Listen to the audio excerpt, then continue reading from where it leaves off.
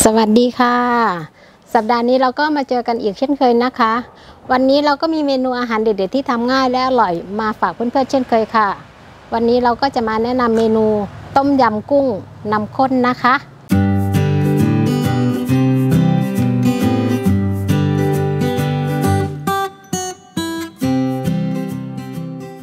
วัตถุดิบของเราได้แก่ กุ้งแชบวย น้ำเปล่า เครื่องต้มยำก็จะมีข่าตะไคร้ใบมะกรูด น้ำปลาดี เห็ดฟาง น้ำพริกเผานมสดหรือนมข้นจืด ผักชีไทย ผักชีฝรั่งพริกขี้หนูสวน และน้ำมะนาวค่ะ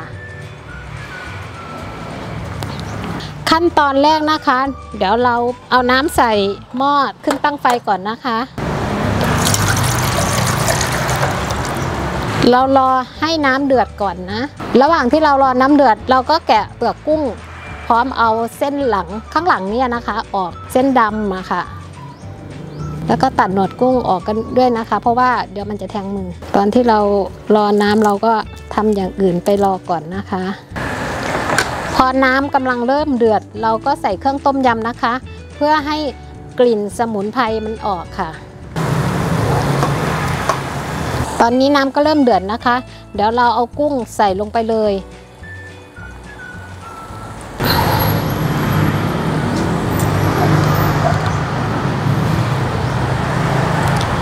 ระหว่างที่เราเอากุ้งใส่เราไม่ต้องคนนะคะ เดี๋ยวมันจะคาว เรากดกุ้งลง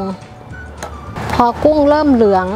เราตักกุ้งขึ้นพักไว้นะคะ เดี๋ยวมันจะแข็งเกินไป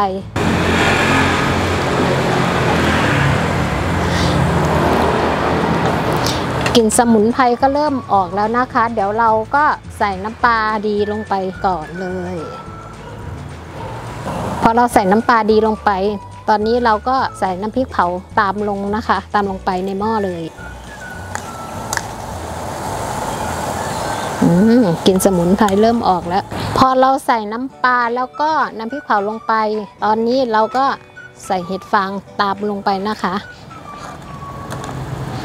รอให้เห็ดฟางสุกก่อนนะคะ ตอนนี้เห็ดฟางก็เริ่มสุกแล้วนะคะ เดี๋ยวเรามาเอากุ้งที่เราพักไว้ใส่ลงในหม้อเลยค่ะ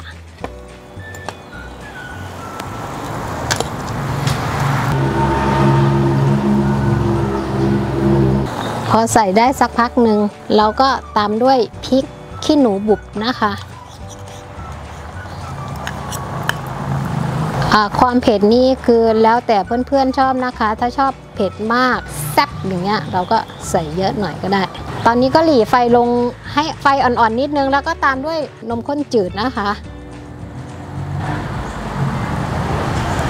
พอเราใส่นมข้นจืดเสร็จแล้วนะคะ ตอนนี้เราก็ปรุงด้วยน้ำมะนาวนะคะ ถ้าว่า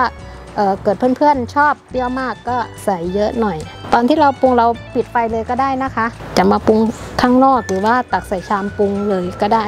อันนี้ก็สุกเรียบร้อยแล้วนะคะ เดี๋ยวเรามาตักใส่ถ้วยพร้อมเสิร์ฟเลย ตอนนี้ก็ปรุงได้ตามรสที่เราชอบแล้วนะคะ ก็ตักใส่ชามพร้อมเสิร์ฟได้เลยค่ะ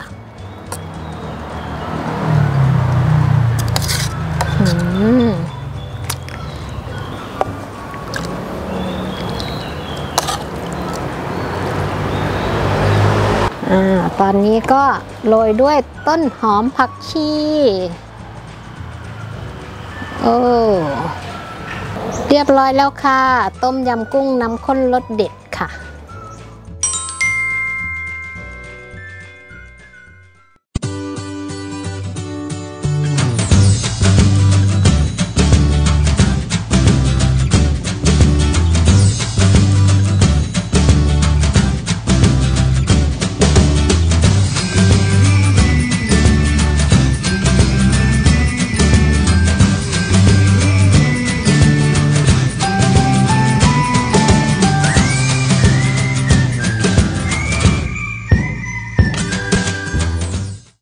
ก็เสร็จเรียบร้อยแล้วนะคะ ต้มยำกุ้งรสแซ่บ